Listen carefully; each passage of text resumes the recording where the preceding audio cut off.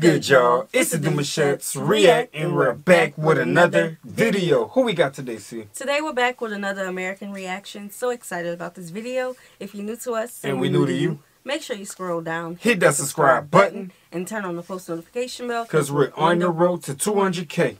and we cannot get there without you guys. All right, join the family. Without further ado, let's get into the video. Let's get it. I'm going to start with Iguazu. Seeing the Iguazu waterfalls, whether you're on the Brazilian side or the Argentine side, is fantastic. Though I do recommend coming to the Argentina side because it's a bus- bigger park and more hikes to do and stuff like that. And you can walk right to the edge on the Garganta del Diablo or the, We the seen throat of the someone. devil. You can go we and see seen that. someone actually sit on the edge of this, if I'm not mistaken, huh? I'm tripping. I think I'm tripping. That's look a little dangerous. But we've seen videos like that, if I'm not mistaken. I've not seen I that. Believe you're talking about Zimbabwe Oh, or the Victoria oh. Falls. Yeah, them waves look a little too strong to be sitting up there anyway, huh? Child, yeah. I wouldn't recommend no Gonna one float try right that. down. Don't do that, y'all. and it is just gorgeous. You can take boat rides up into it as well. If you're in Brazil, you can see stuff. The really cool view of the whole falls is from Brazil side, but to get up into like the falls is the. Argentina side, so you can do both of those. Though now the second place on my Brazil list is actually a combination of Machu Picchu and Cusco in Peru, Yes, and that's so like the heart of the Inca Empire. And the thing is, Machu Is what you've heard of is the lost city of the Incas. That's it, and you go there and you've seen it with the mountain in the background and the buildings there. It is an amazing place to visit. You can do the Inca Trail, hike for a couple nights or two or three or four nights to go there. It is just awesome. Or you can take the train there. That is another option you can have, okay? When you go there, it is a fantastic place. And hiking up through there, seeing it all really is amazing how it's hidden in the jungle. And when you're there, you're probably going to have a base in Cusco in Peru, okay? And Cusco was the capital nice of the Inca. Empire and also one of the kind of capitals of, of Spain, one of the Spanish capitals in, inside of South America. And the thing is, you go there, there's all kinds of the cathedral's fantastic. And they've built a lot of amazing buildings inside where former Inca temples were and things like that. So when you go there, it's got this great tourism infrastructure, and you can go around, get great tours, eat so well. I mean, Peru's got great food.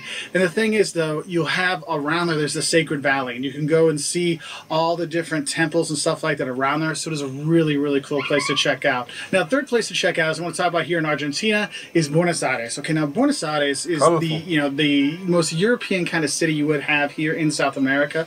It had a lot of money in the 1800s, early 1900s. So there's amazing architecture when you're there. When you're driving around, you're looking out your taxi. You're like, oh my God, that's an awesome building. That's an awesome building. That's an awesome building. And there's all kinds of great neighborhoods around there that's really worth checking out. Whether you're going to San Telmo on a Sunday to see the markets there, which is cool, or going to Boca where they paint the buildings and stuff like that. But for me, it's going to the Recoleta Cemetery and seeing the tombs there and all kinds of things. It's a fantastic place. And of course, when you're in Argentina, you're going to have the two reds, right? The red meat, you know, the beef is fantastic. The beef de chorizo, oh my God, it's so good. Or the red wines, the, the Syrah or the, or the Malbecs, it is just awesome, okay? So the fourth place on our list is Rio de Janeiro, Brazil. And I know Rio's got a reputation for being unsafe. And they, you know, before the Olympics a few years ago, they were trying to scare people away from visiting there. Look, this is a fantastic city. It is an awesome city. I've been there many times. And yes, it does have issues, okay? But the thing is, there's so many cool things to see there. Going to Sugarloaf and going up there, going up to see the Christ on the top, the hmm. views from there and seeing him is awesome. And the thing is, Rio was the capital of Brazil for a long time. So there's a lot of museums, public buildings to check out. But of course, when you go there, you want to hit the beaches. Of course, Copacabana and, and Ipanema are the famous beaches that are there. But if you're looking for a safe beach, I recommend going to Leme Beach. That's the place where we go and we stay when we are there. And the thing is, Rio is just a great time when you are there. Having the rodizio, you know, where they keep bringing the meats to you and stuff like that. it oh, is really cool. Sound nice. Okay. Now the that. fifth place I have for you is the Galapagos Islands in Ecuador. Now it's off the coast of Ecuador, and you've got to fly out to there, and it can be pretty pricey to go there. So that's one thing I want to let you know. But the thing is, when you go there, you see this ecosystem that is just unbelievable. Yes, the Galapagos. You know, you see the turtles, you see the fish, you see the the the, the blue-footed booby and things like that. There's just amazing, amazing wildlife when you are there, and it is really worth checking out. Now going from the ocean to a completely no water place, the next place I recommend you going is the Salar Uyuni, which is in the south of Bolivia. And the thing is, you take a jeep tour through these salt flats, and there's like islands where there's stuff growing in these salt flats. And it is such a cool experience to go Oh, and see yeah, and do. yeah. And when you're staying out there and having the trip, it is such an awesome experience. And what you're usually doing is you're going across southern Bolivia and you're going down pictures. into the Atacama Desert where there's, you know, into Chile that way, okay? And there's a part where there's Laguna Colorada and you have, you know, Argentina, you can see, and you can see Bolivia, and you're in Bolivia, and you can see Chile. And it's just a, such a really cool place. So I do highly recommend doing that. And so that is the next one on our list. Now, next up, we have Ouro Preto, Brazil, and Minas Gerais. This is the colonial center where the mines were and all the money was from those mines. That's where we really see it with amazing, amazing churches when you are there. And Minas Gerais in general is like a really nice place. For me, best food in Brazil, relatively safe too, so you got some cool stuff to see. But Ouro Preto is the place to be. And when you're there, you can do a lot of day trips to Mariana or Tiradentes, so these kind of places to really explore and see colonial Brazil and see the amazing architecture that's there, but also there's a lot of outdoor activities, so that is kind of a cool thing. The Right, eighth right, place right. on our list is Colonia, Uruguay. And the thing is, is when you're coming to South America, you're usually not going to Uruguay, you're usually going to Buenos Aires or something like that.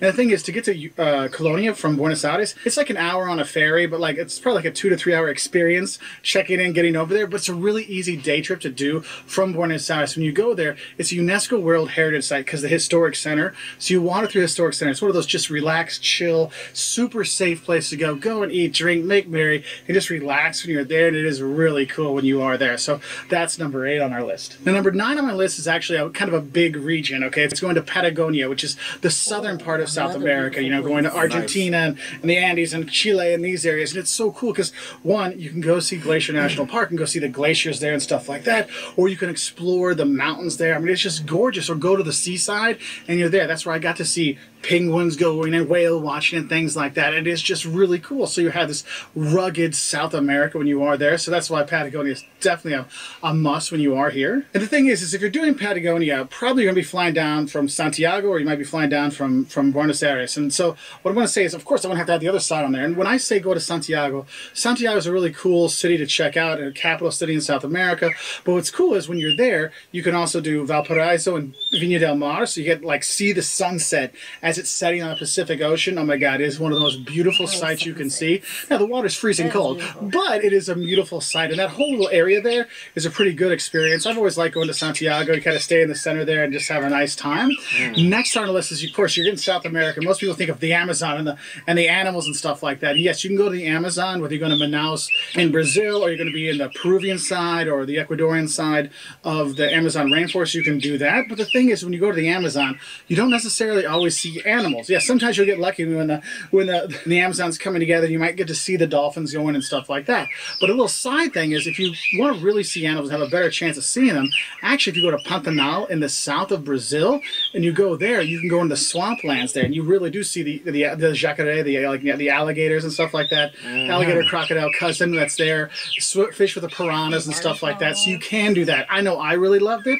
And if you're in a Pantanal, you can go to a town called Bonito, which is like the, the, the capital of ecotourism in Brazil. So you can do like outdoor activities. You know, you're spelunking, you're canyoning, and you're you're whitewater rafting and stuff like that. So it is a really cool experience when you are there. So that's next on my list. And the thing is, there's so many cool places to check out here. Because I, I mean, I could name off tons of other little towns you might want to go see, or bigger cities. I mean, Colombia and going to Bogota, which is really cool, or Cartagena on the coast, or if you want to do more in, in uh, smaller towns, going to Cuenca in Ecuador. There's so many great towns to go to and visit in South America that I hope this video kind of gave you a few ideas of places Oh, yeah. you might want to check out. Because I've lived in Brazil, I lived in Argentina, I love both my experiences there. We've traveled with the kids throughout South America, so it's not someplace you can't take your kids, okay? But you do want to make sure you pay attention with some safety stuff and things like that. But you do that anywhere you go. So I hope this helps you give a few ideas about how awesome South America is and some places to check out.